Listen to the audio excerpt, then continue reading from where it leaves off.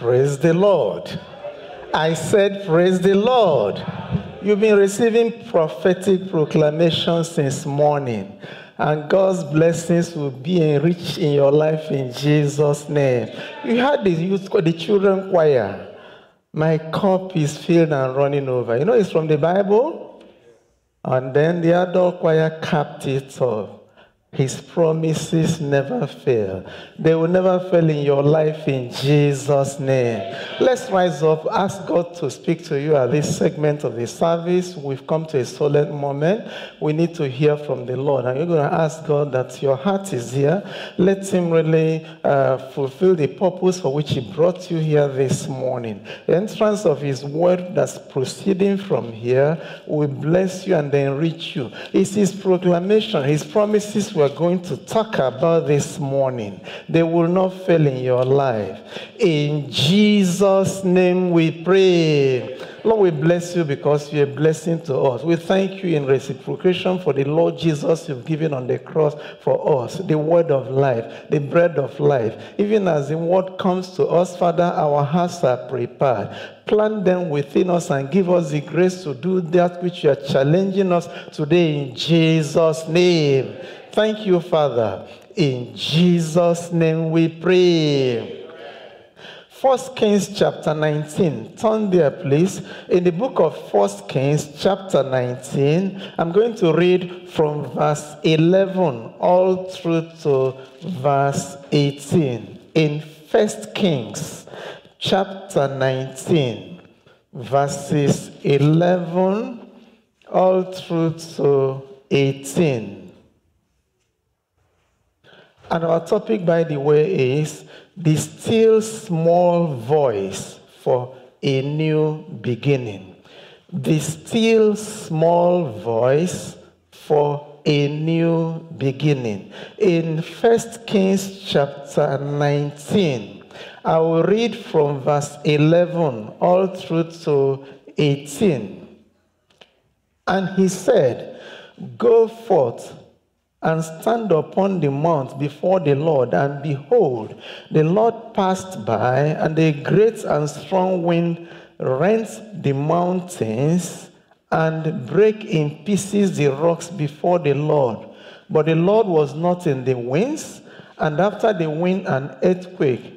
But the Lord was not in the earthquake, and after the earthquake, a fire. But the Lord was not in the fire, and after the fire, a still small voice.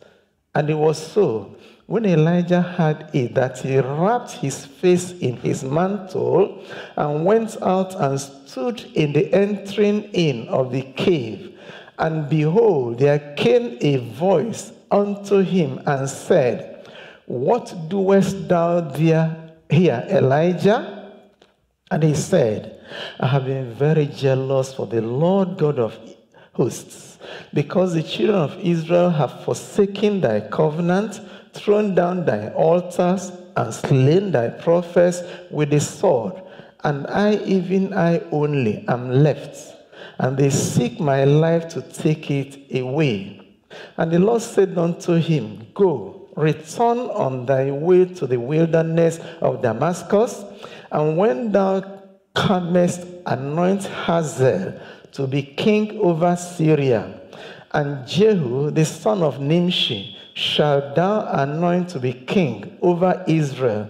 And Elisha, the son of Shaphat of Abed, Abel Meholah, shall thou anoint to be prophet in thy room. And it shall come to pass that him that escaped the sword of Hazael shall Jehu slay, and him that escaped from the sword of Jehu shall Elisha slay. Yet I have left me seven thousand in Israel, all the knees which have not bowed unto Baal, and every mouth which had not kissed him. Praise the Lord.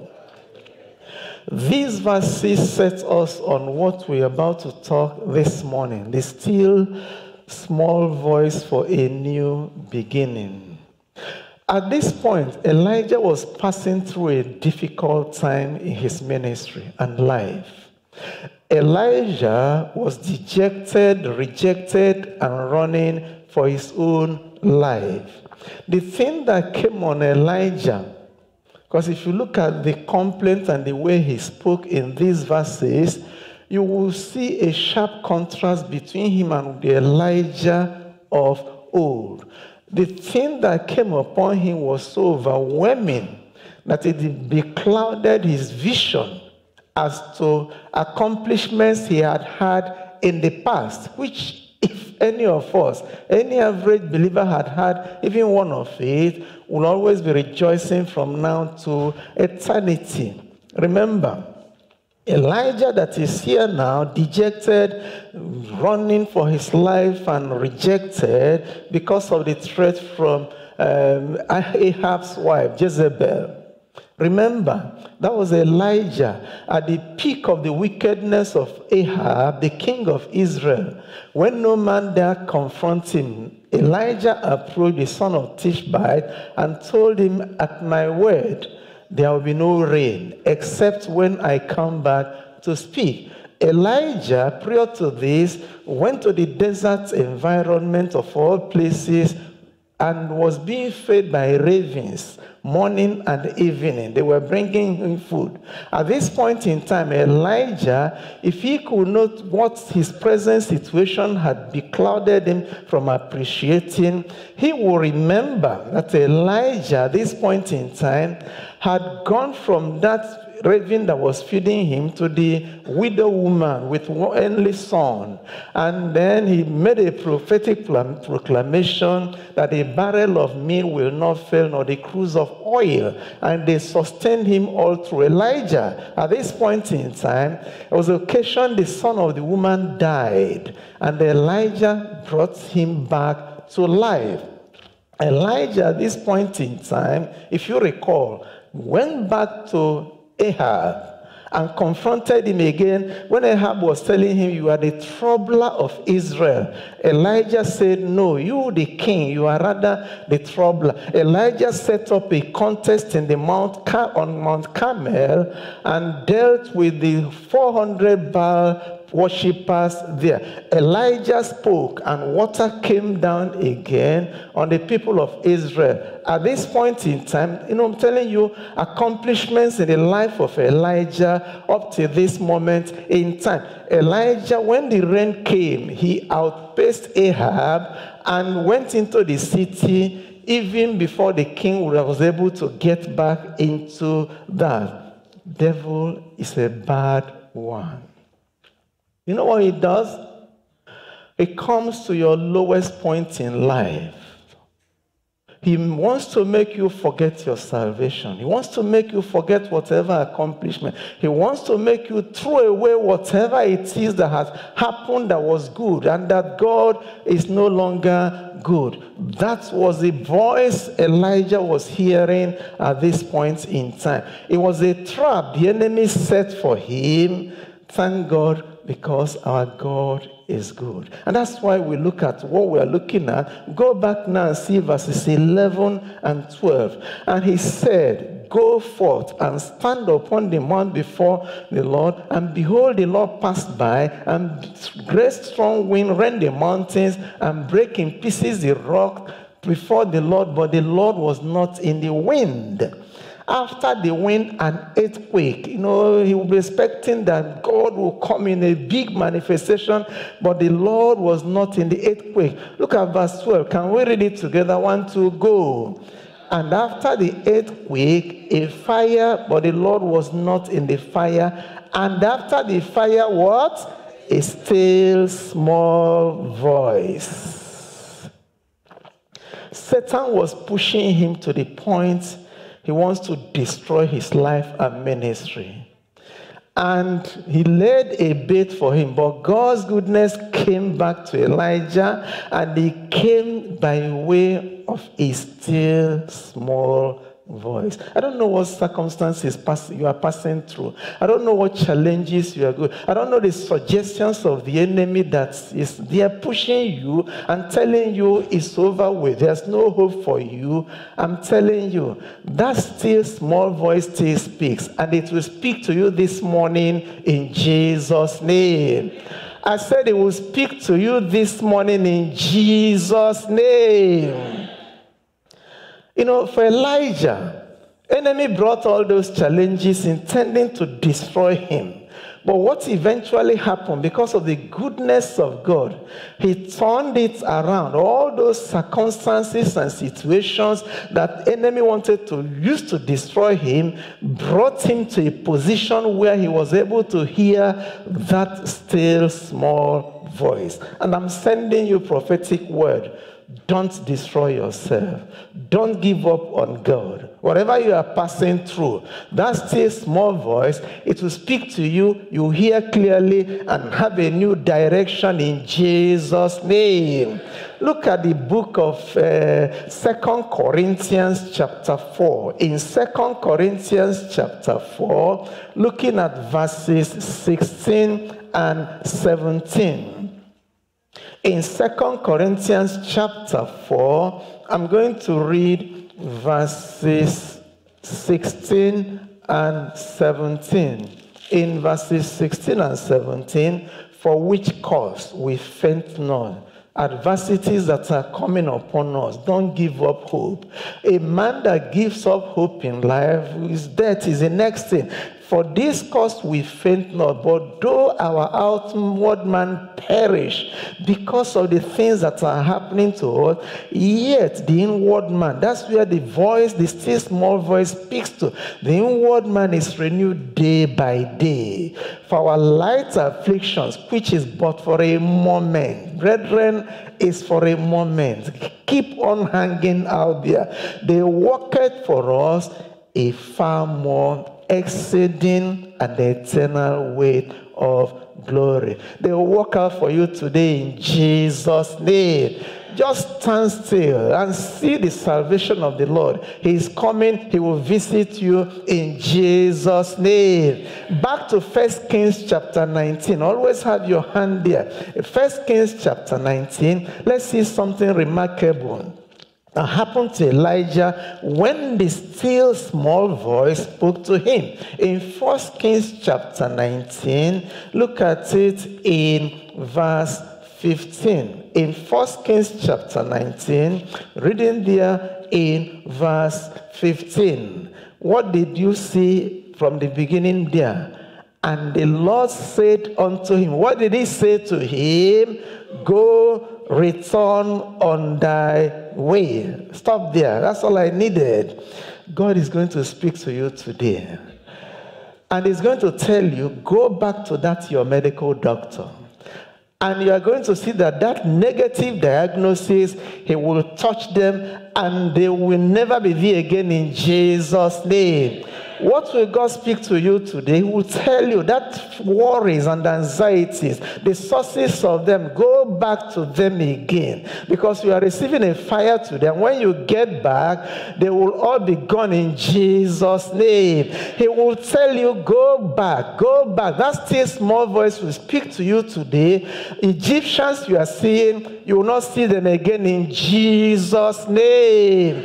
Return back, return back. Look at verses 16 and 17, and Jehu the son of Nimshi shall thou anoint Uh, to be king over Israel, and Elisha the son of Shaphat of Abed shall thou anoint to be prophet in thy room, and it shall come to pass that him that escaped the sword of Hazael shall Jehu slay, and him that escaped from the sword of Jehu shall Elijah slay. What is he saying here? You see, Elijah was expecting defeat. Elijah was expecting death. Elijah was expecting eclipse of his life, ministry, and whatever family he came from. But the still small voice was looking ahead and looking ahead at a place Elijah had did not know. Elijah thought it was God was done with him, but he was now giving him a new commission and telling him, Look up, look up, something is happening. This still small voice envisaged Elisha his own successor coming on the field. And Elijah was thinking he's dying. The still small voice was looking at Elijah, Elijah, who will pass the mantle to Elisha. And remember, Elisha was the one that will receive the double portion of anointing, correct? As this time Elijah has not completed the double portion miracles, and the still small voice was telling him, Go back, go back, more will be done. You are going back today, and more will be done in your ministry and life in Jesus' name. You don't sound like you believe me. I said they will be done in your life in Jesus' name. Be it unto you according to your faith in Jesus' name. Look at Micah, what you will tell your enemies. Micah chapter 7. Those that are writing you off, those that are writing you off and saying, No, he's done with, I know him, I've done that, I'm taking everything. He's finished, he's a spent force. Micah chapter 7 in verse 8. Micah chapter 7, they are rejoicing over you. He says, Rejoice not against me, O mine enemy. When I fall, what will happen? I shall arise. You are rising today in Jesus' name. When I sit in darkness, the Lord shall be a light unto me. He will lighten your path today in Jesus' name. I am going higher, yes.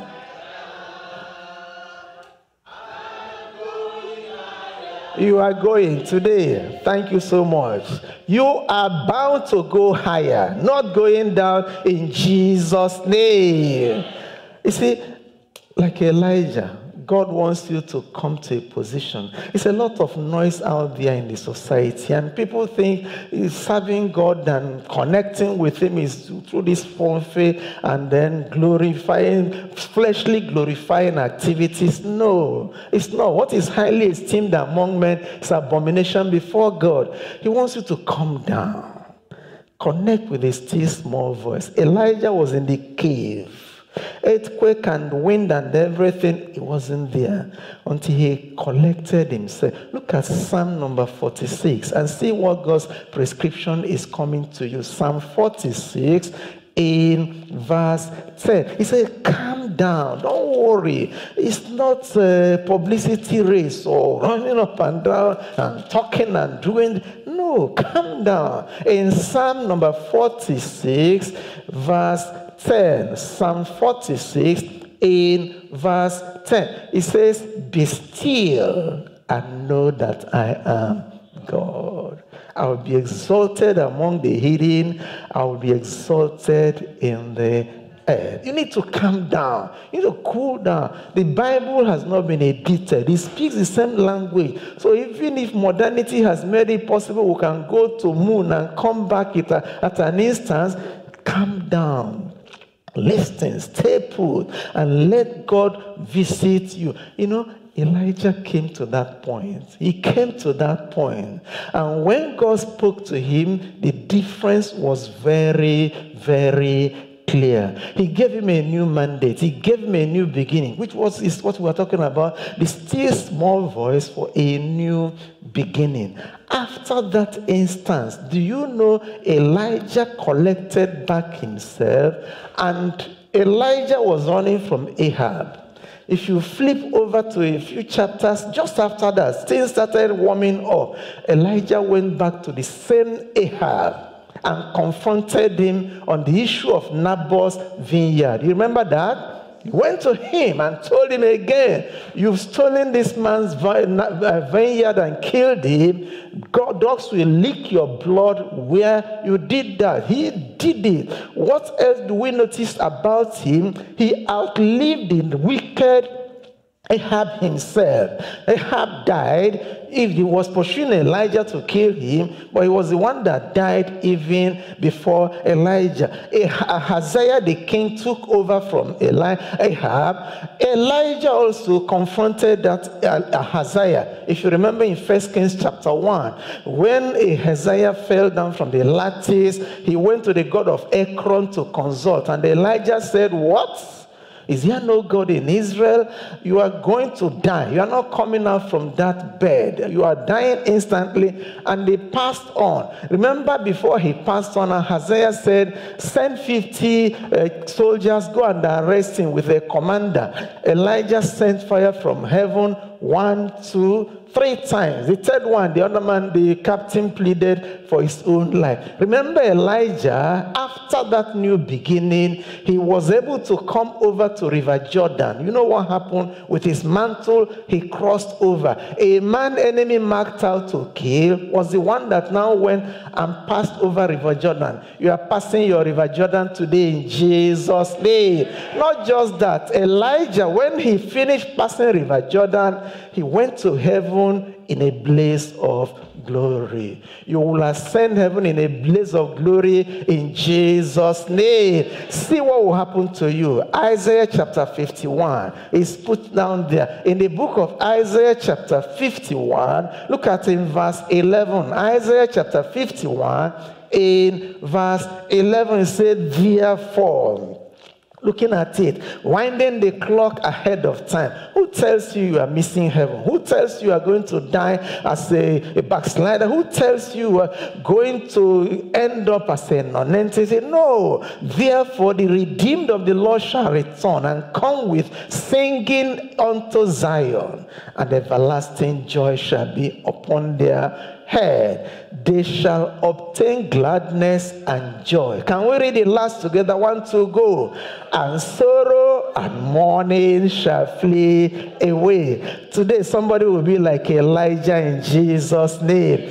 You can imagine Elijah with sorrow running away. But when the chariots came to take, take him home, he waved sorrow, anger, everything, mourning, bye bye. Today you wave everything goodbye in Jesus' name.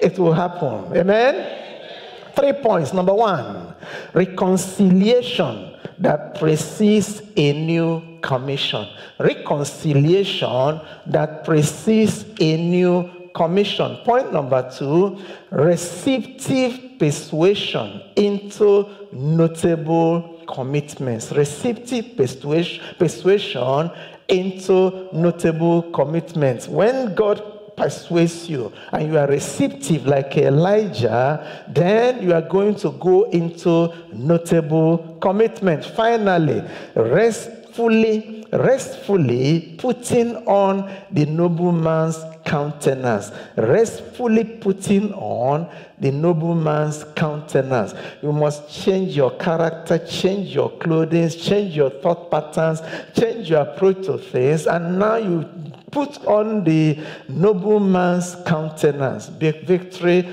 will then be yours in Jesus' name. Let's begin with point number one reconciliation that precedes a new commission. In First Kings chapter 19, the book of First Kings chapter 19, I'm going to read verses 13 and 14. In First Kings chapter 19, verses 13 and 14, and it was so when Elijah had it that he wrapped his face in his mantle and went out and stood in the entering in of the cave. And behold, there came a voice unto him and said, What doest thou here, Elijah?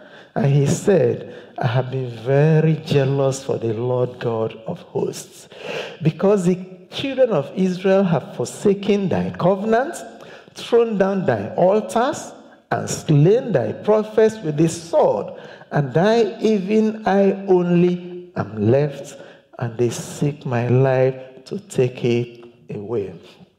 In this point, we are going to see something remarkable. We're going to challenge us that there must be reconciliation as a foundation for a new beginning with God. You don't just jump in and forget everything and whatever it is and say, God, uh, talk to me. God, give me a new commission. No. If you look at what is playing out here, Elijah actually misspoke before God and he opened up what his heart was before the Lord himself. As he was running, the difficulty and challenges in his life have brought some baggages within him. And even in the mountain, he was now complaining and telling God, Look at what happened. Look at the point for which I'm running away. I'm only person left, I'm the only prophet, and they seek my life. I want to die. There's nothing about it again. Lord, it's you that is the cause of the problem. But that was it. God now made his point and told him, No, look at it, look at it. I've even reserved up to 7,000 prophets as it were.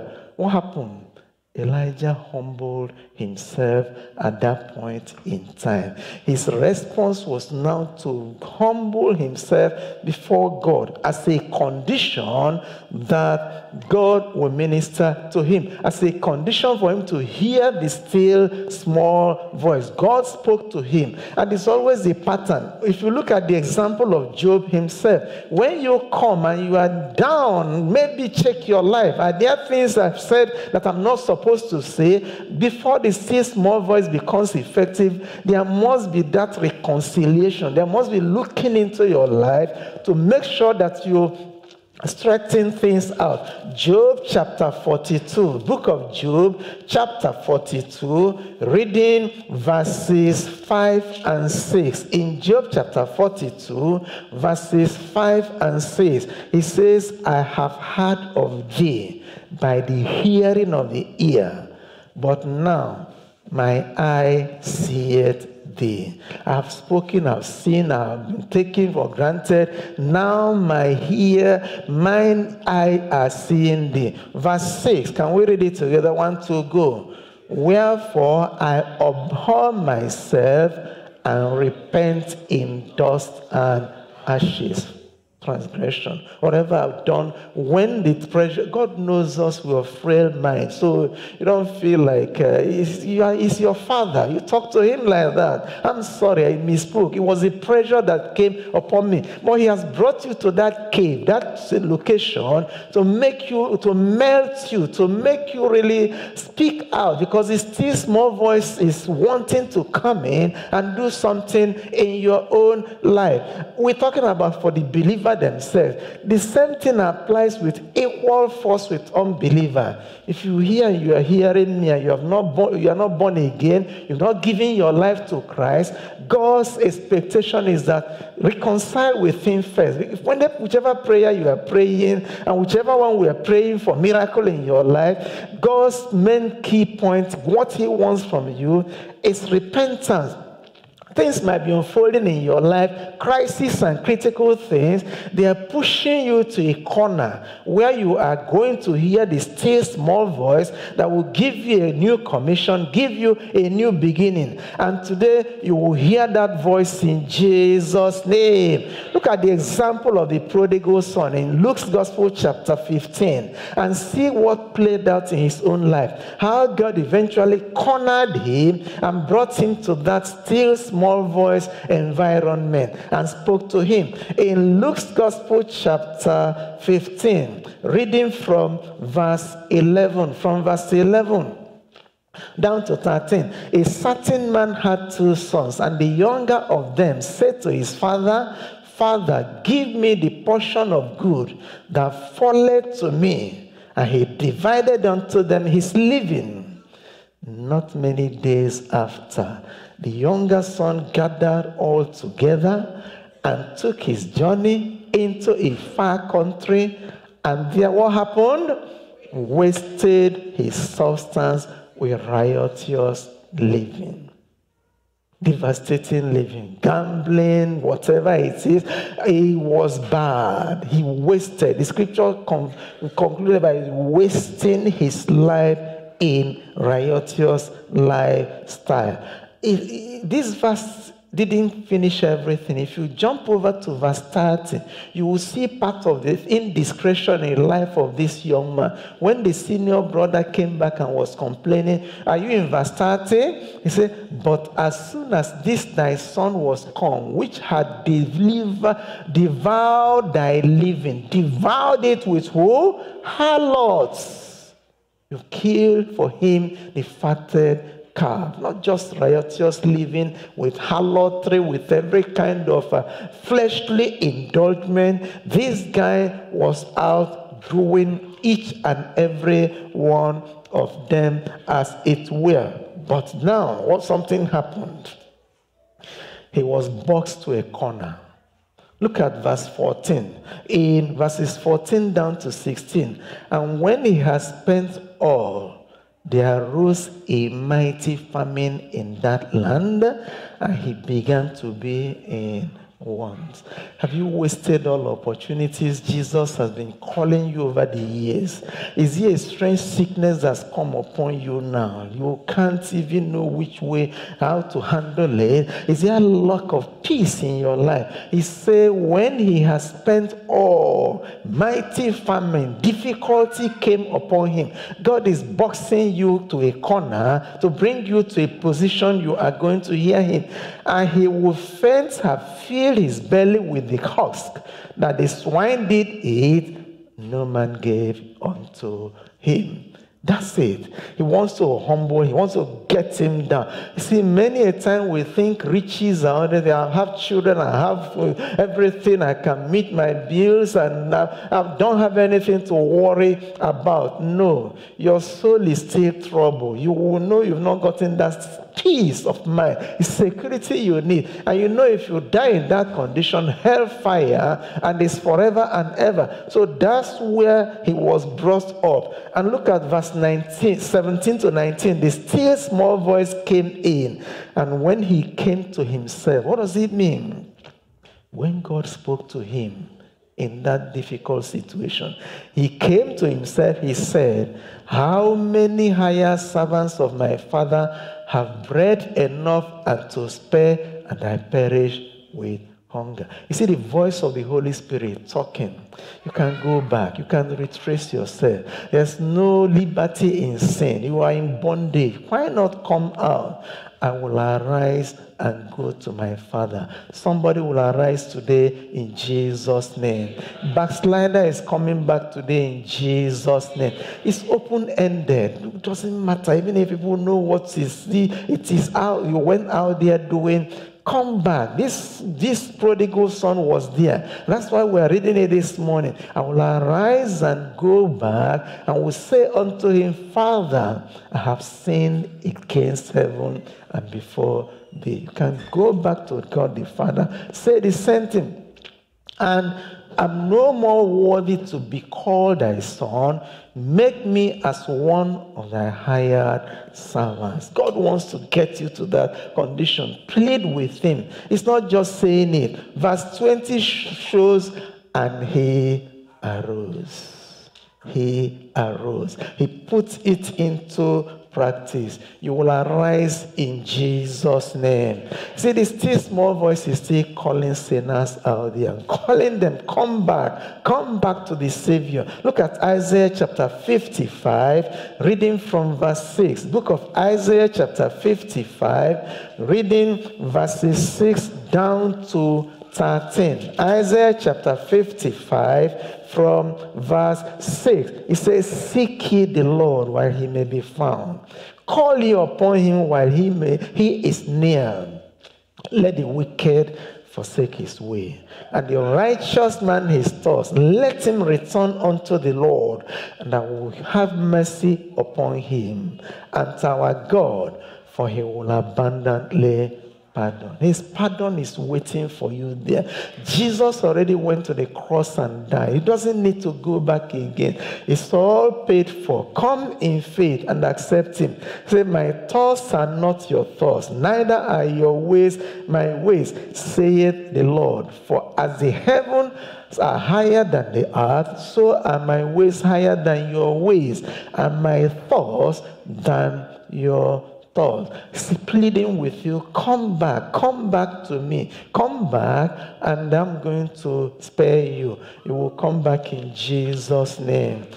Point number two receptive persuasion unto notable commitments. Receptive persuasion unto notable commitments. Let's go back to 1 Kings chapter 19. I'm reading verses 12 and 13 only. 1 Kings chapter 19, looking at verses 12 and 13. And after the earthquake, a fire, but the Lord was not in the fire. And after the fire, a still small voice. And it was so when Elijah had that, had, had it, that he wrapped his face in his mantle, went out, and stood in the entering in of the cave.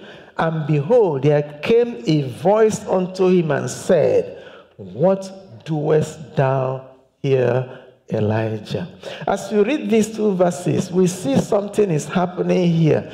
God was on an outreach mission to Elijah. Elijah was going to a position of self destruction, hopelessness. He was going out from the will of God to path of despondency. God has not given us the spirit of fear, no. But he was going towards that. And the Spirit of God, you know, the way God works, He doesn't put burden on us. He is always His solution. So He went on an outreach mission to Him and now was reaching out to Him. And you see, the scripture was emphatic. He had a still small voice. But the scripture never told us of any image or figure or individual that Elijah saw physically, correct? He didn't see anything. The still small voice. You know what he stands here? When he was reaching out to him, he was reaching out to his conscience. Speak to that conscience.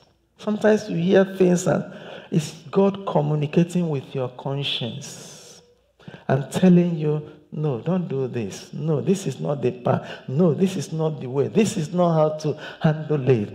And then Elisha had it, connected with it. The fact that he connected with that shows you the state of heart of Elijah. You see, when Paul said, Hereby do I exercise my conscience to be void of offense towards God and towards man, that's exactly what we're talking about. As a believer, don't box yourself into orthodoxy. Whether it's in the Bible or not, whether the Word of God says or not, this is how I want to do it. When God wants to remind you about what He's spoken, your mind is blocked from Him. Elijah, still small voice, came to him, spoke to his conscience. And because he had a receptive conscience, then he opened up unto God. And that's all God needs for a new beginning with whoever wants to be beginning afresh with Him. It's a matter of your conscience. Look at Titus chapter 1. The book of Titus chapter 1, reading verse 15. In Titus chapter 1, in verse 15, it divides human, human beings' conscience into two, as a matter of fact. Look at it in Titus chapter 1, verse 15. And tell me where your conscience is. And that's what you are going to be receiving when the still small voice from God comes. If it's on the other side, you will rebuff it. If it's in the positive side, it will be receptive. Are you in Titus chapter 1, verse 15? Unto the pure all things are pure, but unto them that are defiled and unbelieving is nothing pure. But even their mind and conscience is defiled. Remember, it's the Holy Spirit ministering, coming, but your heart, you don't want, you knock him off and say, No. Elijah at this point could have raised a lot of contrary arguments and knocked off all God is saying because he was facing a reality. Jezebel threatened him. They have the muscle, they have the power, they can effectuate what they were threatening. He could tell God, No, no, you don't, you are mistaking what you are talking about now. He exercised his conscience, void offense towards God and towards man. And then he was able now to connect with God Himself because he saw that this voice is the real one. And the Spirit spoke to him and ministered to him directly we're going round and round on this because eh, a lot of us have lost our blessings based on this issue we're talking about. The Spirit comes and you hear it and it's challenging you. The Bible is read to you as to what God is saying. You feel, no, let me take my tradition. No, let me be an, of adamant heart. Elijah could have swung out there. People that even had Jesus one on one, you will see the nature of the conscience they had, they refused to hear. Look at John chapter 8, book of John, chapter 8, in verse 9. John chapter 8, in verse 9. I would have read more, but let's just pick that and see the application here. In John chapter 8, in verse 9. And again, he stooped down and wrote on the ground. And they, 8 and 9, I'm reading 8 and 9. And they which had it, being convicted by their own what? Conscience, went out one by one, beginning at the eldest, even unto the last. And Jesus was left alone, and the woman standing in the midst. Opportunity, confronted with their transgressions, instead of confessing, they said, No, let's just drive our way out. Remember the other one in Acts chapter 28, when Paul arrived eventually in Rome and called the Jews together and was speaking to them. At the end of ministering to them, a lot of them bolted out and said, No, we are not taking this. And he said, Well, God said it. In hearing, you will hear in obedience you will not obey. You hear, speak to them. They've closed up their ears from hearing from me. You are different. You will hear from the Lord in Jesus' name. I say you are of a different sort. You will hear from the Lord in Jesus' name. For Elijah, it was an impossibility physically, but because he had the still small voice, he believed God, and then at the end of it all, you will see that it eventually happened as God prophesied. And I'm pleading with you, whatever you are going through, forget what circumstance and situation is playing out. Hear the voice of God today, and the turnaround will come unto you in Jesus' name. Whatever your situation is, as the Lord speaks, hear Him, and then things will turn around for you in Jesus' name.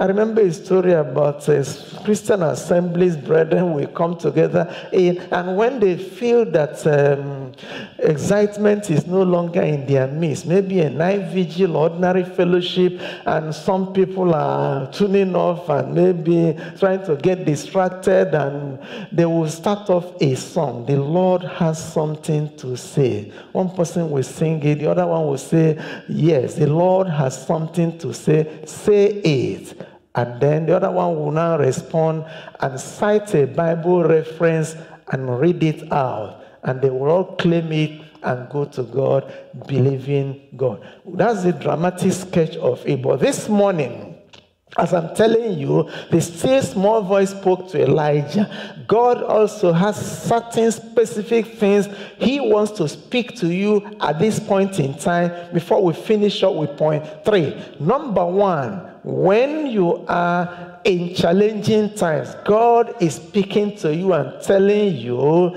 I have divine supplies that will carry you through. Divine supplies for challenging times. Look at the book of Isaiah, chapter 30. Specific promises is getting out to you today. The Lord is speaking, the small, still small voice. And when we get through each of them, about seven of them, you are going to see that they would have affected one way or the other, the situation and circumstance around you. Take them as the solid word of God. Promises is living for you, and then go out and you see a change will come in your situation in Jesus' name. The Lord has something to say. Number one, divine supplies to you during challenging times. Isaiah chapter 30. In the book of Isaiah chapter 30, reading verses 20 to 23. Isaiah chapter 30, reading from verses 20 down to 23. And though the Lord give you the bread of adversity and the water of affliction, yet shall not thy teachers be removed into a corner anymore. But thy eyes shall see thy teachers. Look at verse 21. Can we read that one? Just 21 alone. And thy ears shall hear a word behind thee, saying, This is the way. Walk in it. When you turn to the right hand, and when you turn to the left, that's what he's promising you. He will do it in your life in Jesus' name. He will hear that voice that says to you, This is the way, this is the way, go there from verse 22. I'm reading now. You shall defile also the covering of thy graven images of silver and the ornament of thy molten image. All those false gods you are relying on, you will cast them out. Thou shalt cast them away as a menstruous cloth. Thou shalt say unto it, Get thee hence. No, I'm looking unto God, they go alone. Verse 23 now comes. When you do it, then shall he give the rain of thy seed, that thou shalt sow the ground withal, and bread of the increase of the earth, and it shall be fat and plenteous. In that day shall thy cattle feed in large pastures. That day has come for you in Jesus' name. The Lord has something to say. Number two, he's saying something. Assured security in the Christian race. Assured security in the Christian race. People are backsliding here and there. Even leaders and people don't stand again. They want, don't want to walk the narrow path. Look at me, my little self, where I am. Am I sure I am going to make it till the end? The Lord has something to say. John chapter 10, verses 27 to 29. John's Gospel chapter 10, reading verses 27 to 29. Everybody go there, please. John chapter 10, from verse 27. My sheep hear my voice and know me. I know them and then follow me. You will hear God's voice in Jesus' name. He will speak in that still small voice. And when they hear, verse 28, and I give unto them what? Eternal life. Already, when you hear and take it, and they shall never perish. You will never perish in Jesus' name. Neither shall any man pluck them out of my hand. My Father which gave them me is greater than all, and no man is able to pluck them out of my Father's hand. Can they pluck you from there? No. Secured. Secured. It's just, it's so up to you what you do with your Christian life. As far as you're obedient and following the Lord, He said you are secure. Stay there. Number three, the Lord has something to say to you. Number three, promise of divine companionship. Divine companionship, whether in the fire or flood, anywhere you are, whether you are enjoying or not, wherever, the promise of divine companionship. If if he's there with you, what will happen? Nothing. He will take care of situation. Hebrews chapter 13. See it point blank. Because I'm showing you scriptures what God will speak to you. When the enemy is speaking contrary and saying, Well, God abandoned you and this one, because his word liveth forever. Look at what he's telling you. Hebrews chapter 13, reading verses 5 and 6. Hebrews chapter 13, reading verses 5 and 6. Let your conversation be without covetousness.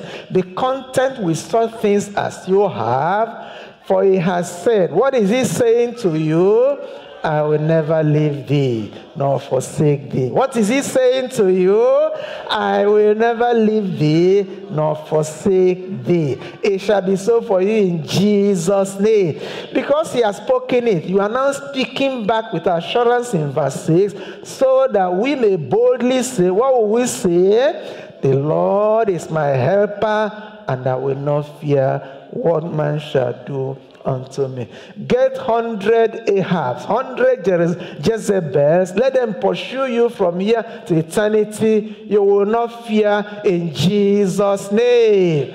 Fear will not come into your camp at all in Jesus' name. The Lord has something to say. Say on. Number four, promise of handling your adversaries promise of handling or dealing with your adversaries, whatever it is. God's promise is very clear. You don't need to spend time on planning to counter attack people. Shut your mouth. Whenever they even they want to speak down on you, keep quiet. God takes over your battle. Let them gang up and do whatever they are doing. Just face your assignment of living righteous before God and carrying on the ministry has called you to carry Leave the rest to him, he will take care of them. Isaiah chapter 54, I am going to read verse 15. Isaiah chapter 54, in verse 15. Isaiah chapter 54, reading there just verse 15. In verse 15, behold, they shall surely gather together the truism. They will come together, but not by me.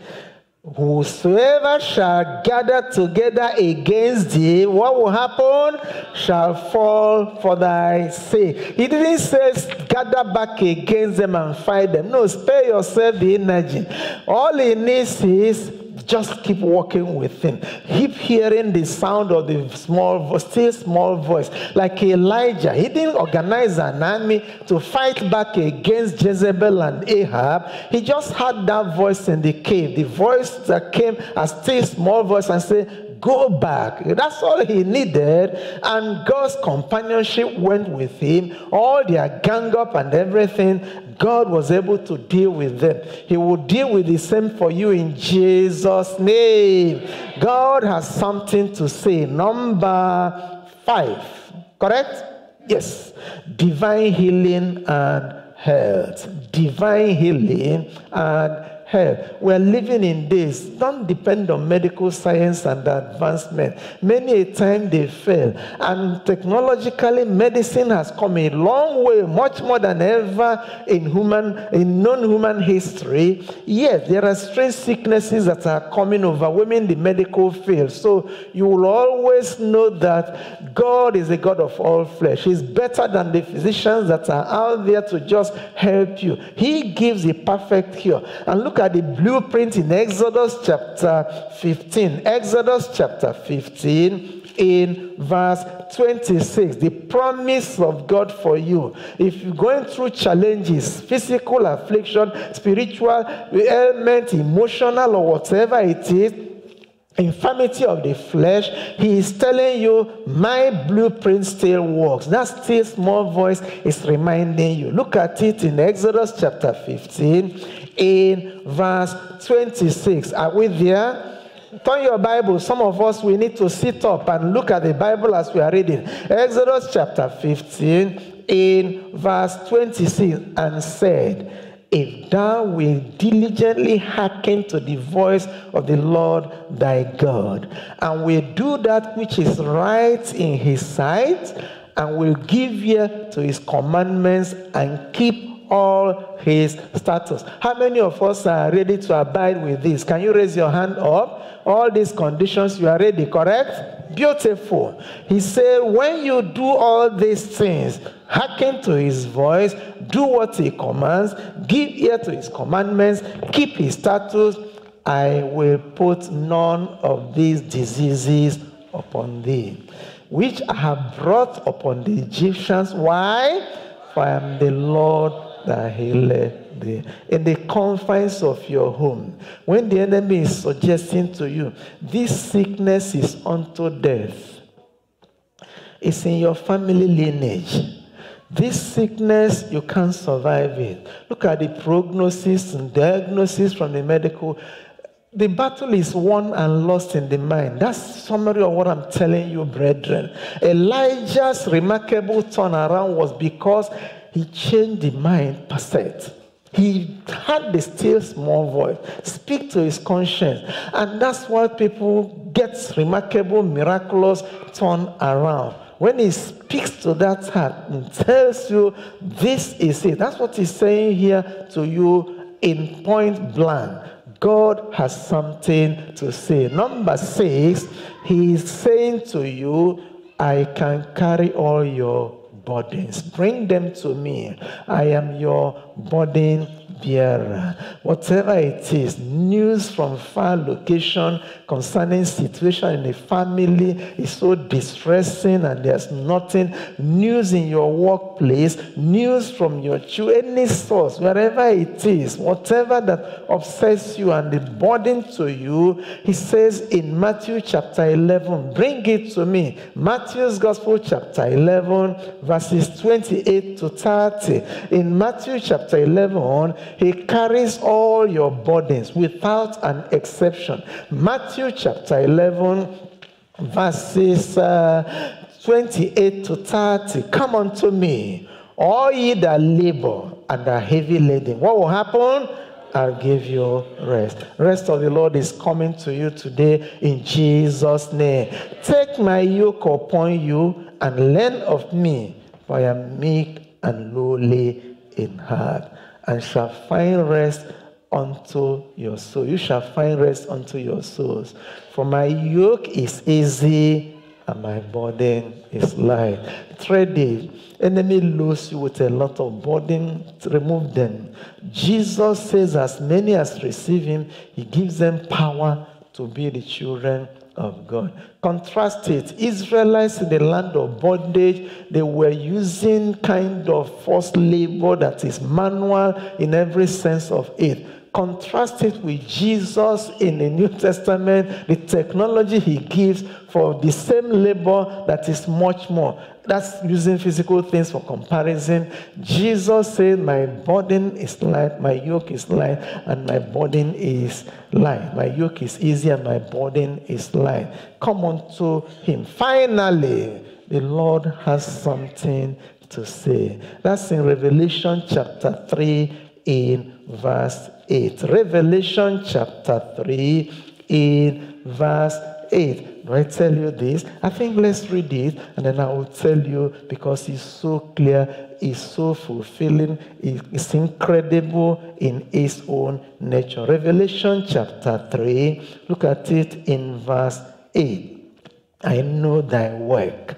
He knows it. He knows what you are passing through. Behold, I have set before thee what? An open door. No man can shut it. For thou hast a little strength, and hast kept my words, and hast not denied my name. In other words, you cannot outcompete them, people of substance in the world. I know you, you don't have much strength. But in the midst of it, I've set an open door before you not by any man. When God says an open door before you, nobody can shut it in Jesus' name.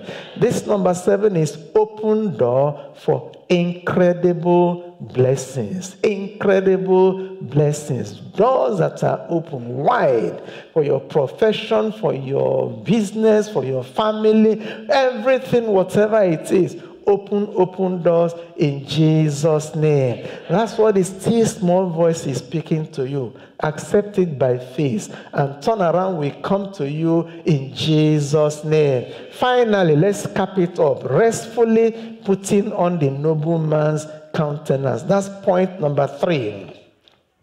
In point number three, I'm going back to the book of First Kings, chapter 19. I'm going to read verses 15 down to 16. From verse 15 down to 17. From verse 15. And the Lord said unto him, Go, return on thy way to the wilderness of Damascus, and when thou comest, anoint Hazael to be king over Syria. And Jehu, the son of Nimshi, shall thou anoint to be king over Israel. And Elisha, the son of Shaphat of Abel, Abel Meholah, shall thou anoint to be prophet in thy room. And it shall come to pass that him that escaped the sword of Hazael shall Jehu slay and him that escaped from the sword of Jehu shall Elisha slay. Brethren, something wonderful is happening here. And this holds the key for the remarkable turnaround for Elisha himself. Remember, we were tracing the story of him and the encounter. We told you how he repented. Now, at this point, we're seeing a cooperating Elijah with God. When the still small voice spoke, and he was receptive to that, now he now gave him the scope of his renewed commission beyond himself up to Elisha, his own successor.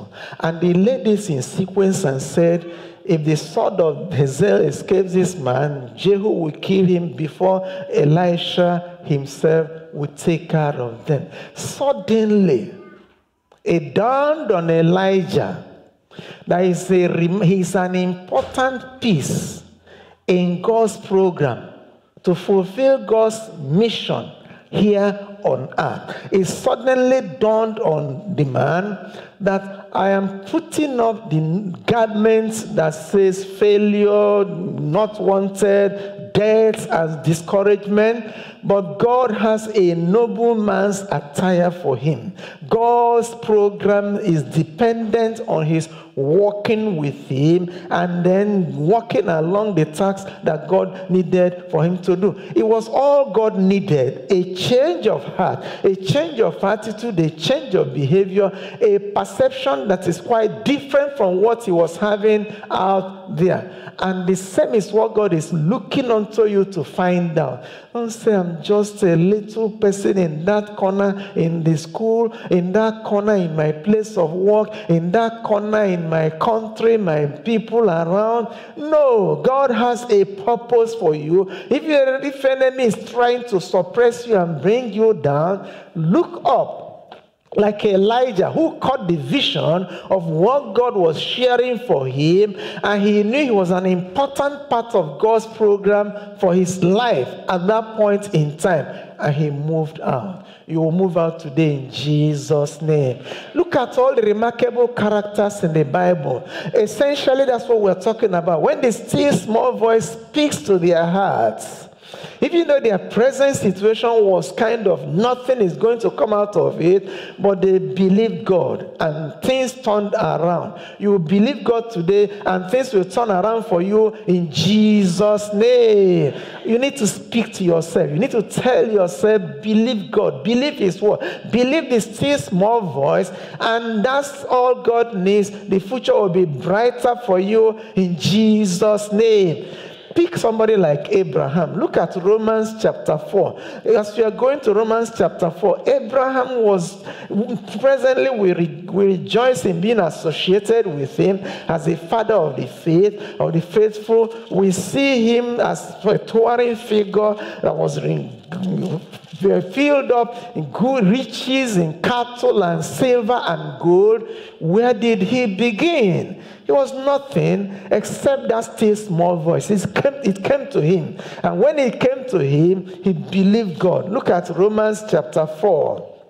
Because he accepted it, he changed his attitude, he changed his position, and then the end was that things turned around for him in a remarkable way. Romans chapter 4, reading from verse 17 down. Romans chapter 4, in verse 17, as it is written, I have made thee a father of many nations, before him whom he believed even God, who quickened the dead and called those things which be not as though they were. When he spoke to him, there was no child. When he spoke to him, he said, Father of many nations. And he believed. Verse 18 who against who? Because the still small voice has spoken to him. Just like you are hearing from this small, that all the while we were here. Who against who believed in hope that he might become the father of many nations, according to that which was spoken. So shall thy side be, thy seed be. And being not weak in faith, he considered not his own body now dead, when he was about an hundred years old, neither yet the deadness of Sarah. You see things he eliminated because he has had the still small voice. Verse 21 and being fully persuaded. Somebody will be persuaded today in Jesus' name. Being fully persuaded that what he had promised, he was able also to perform. Can God do the same thing for you today? Yes. And therefore, it was imputed to him for righteous. God sealed it because it was clear. Now, it was not written for his own alone, that it was imputed to him. Can we read verse 24 together? One to go.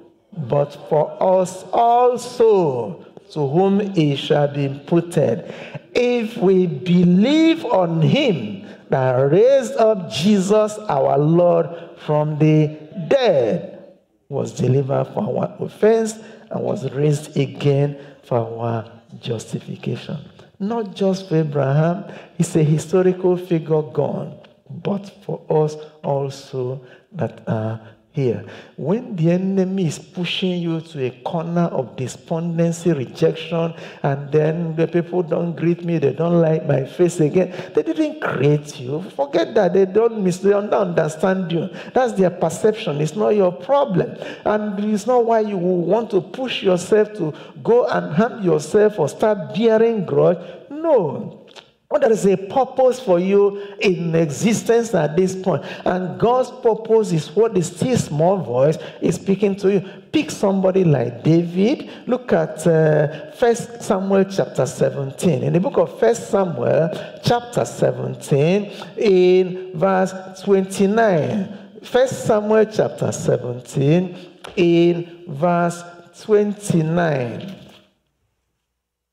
Turn there, please. In the book of First Samuel, chapter 17, in verse 29. I'm reading there. Verse 29 says, And David said, What have I now done? Is there not a cause? Some of you are wondering, are you seeing it? And David said, What have I now done? Is there not He was actually responding to one of his brothers that we are kind of castigating, berating him. You come here, I know how pompous your heart is. That was at the time Goliath of Gath was out there challenging the people of Israel. And David now turned back to the brother and said, Is there not a cause. Why did David say that? Remember, it was Goliath that opened up the ministry of David to blossom so much when he took him down. Why did David respond that way? God already spoke to him in his by still small voice, telling him there's a Goliath that must be brought down.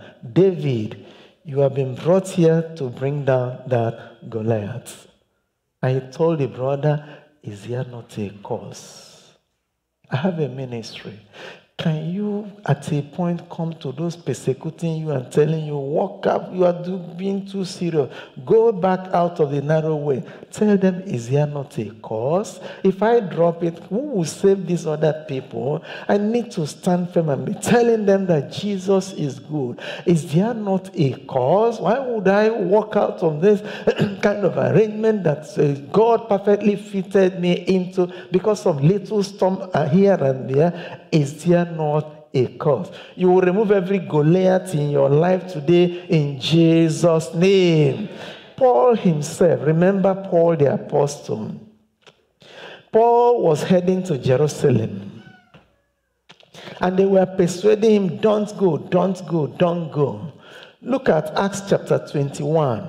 When you see that God speaks to you and He has told you this is what will be accomplished. Nothing, no obstacle of the enemy can stand on your way. You move on and accomplish that which God has made available for you. Acts chapter 21. Let's see the example of Paul the Apostle. You see, when the still small voice spoke to him, he came to at an encounter with a difficult situation and circumstance, and Paul made up his mind that he's not going to back out. Acts chapter 21, are you there? I'm reading from verse 10, Acts chapter 21, verses 10 to 14. And as we tarried there many days, there came down from Judea a certain prophet named Agabus. And when he was come unto us, he took Paul's girdle and bound his own hands and feet and said, Thus say, said, Thus saith the Holy Ghost, so shall the Jews at where? Jerusalem bind the man that owneth this girdle and shall deliver him into the hands of the Gentiles. And when we heard these things, both we and they of that place besought him not to go up to Jerusalem. Then Paul answered them. What did he answer them? What mean ye to weep and to break my heart? For I am ready not to be bound only, but also to die at Jerusalem for the name of the Lord Jesus Christ. And when we will not persuade, when we could not be persuaded, we see saying, The will of the Lord be done. We're talking about still small voice, conviction that David uh, Paul received. Where did it begin? Remember in Acts chapter 9, when on his way to Damascus, he, the Lord encountered him. Remember, Ananias was sent, Ananias was reluctant, and God said, No. He is a chosen vessel of me to stand before kings and the Gentiles. Now he was heading to Jerusalem. And the apostles were telling him, No, don't go, don't go. But he remembered that still small voice. Rome was the ruling empire in the whole world. And if Paul had aborted this trip to Jerusalem, there's no way he would have stood trial and then appealed to Caesar in Rome that resulted in Paul going to Rome, a more expansive ministry in his ministry, adding more to what he even could accomplish if he had backed out. You will not back out in Jesus' name. I say you are not backing out in Jesus' name. Because that still small voice is still speaking, speaking, speaking. He spoke to Jeremiah when he told him, I'm a child. He said, No, don't say you are a child. Stand up, stand firm. I've made your face an adamant one. Stand before these people and repel them. You will stand, you will overcome in Jesus' name. That's the final prompting from the still small voice unto you. Wherever you are going, this is the Lord's kingdom. This is the Lord's what the Lord created. it. It is your Father. Never be overtaken by any fear of anything, limitation of anywhere, and then be operating in morbid fear. Romans chapter 8, that's the pattern scripture I'm giving to you. And we go to God in prayers for you to know that that still small voice wants you to plant this in your heart at all times. Hold to it. Whatever you are facing, whatever it is, always remember this is what God wants you to take home. And if it's happening, you will know. And if you believe that, you know that eventually, whatever it is, it will come to pass. You will overcome. In Romans chapter 8, in verse 31, are you there? Everybody, some are still flipping their Bible. Romans chapter 8 in verse 31. Romans chapter 8, verse 31. That's our pattern scripture today, and we go to God in prayers. Romans chapter 8, verse 31. Are you there? What shall we then say to these things? What am I adding more? Spiritual, I can preach. We've uh, talked about Elijah. What again do you want to add? If God be for us, who can be against us.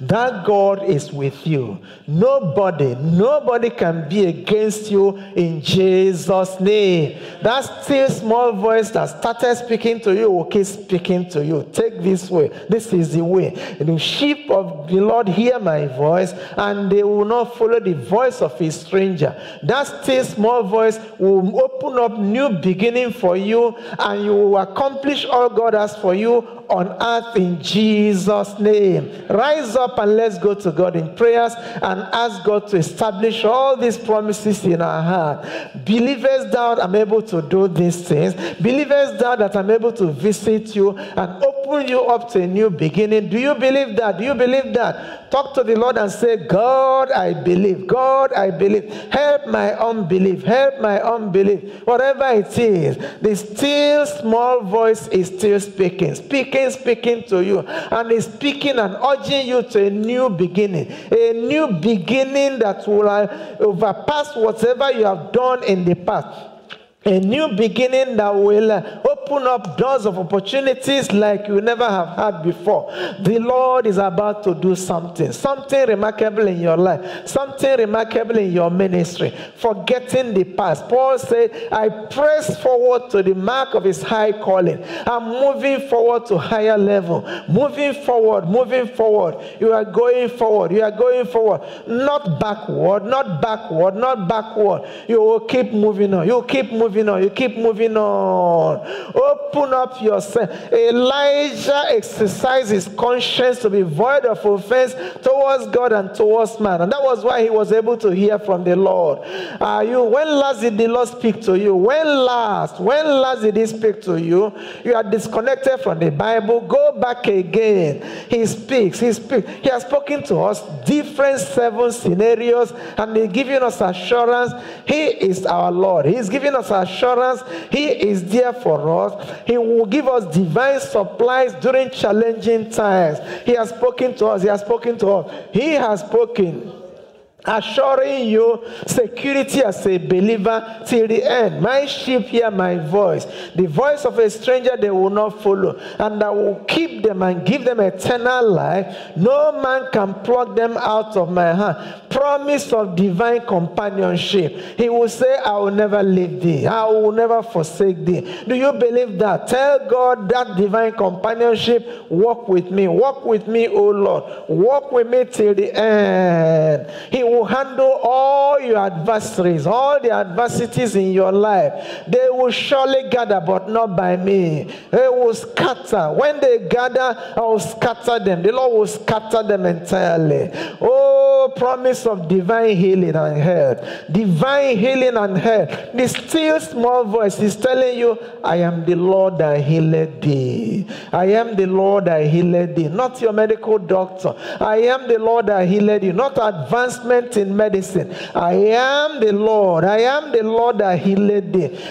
Wholesome healing, body, spirit, and soul. He will heal you. He will heal you. He will heal you. He will heal you. Are you hearing the sound of the voice of the Lord? The still small voice. He wants to carry your burdens casting all your cares upon him, for he carried for you. Come unto me, all you that labor and are heavy laden, and I will give you rest. I will give you rest. Come back unto me, I will give you rest. He will do it. Open doors. Behold, I've set an open door before you. No man can shut it. No man can shut it. Jezebel tried it on Elijah. It couldn't work. Elijah prophesied how she would die. She eventually died that way. She couldn't execute her enterprise against Elijah. Why do you think God has changed? He never will change. No. I have opened doors of opportunity for you. No man will shut them. No man will shut them.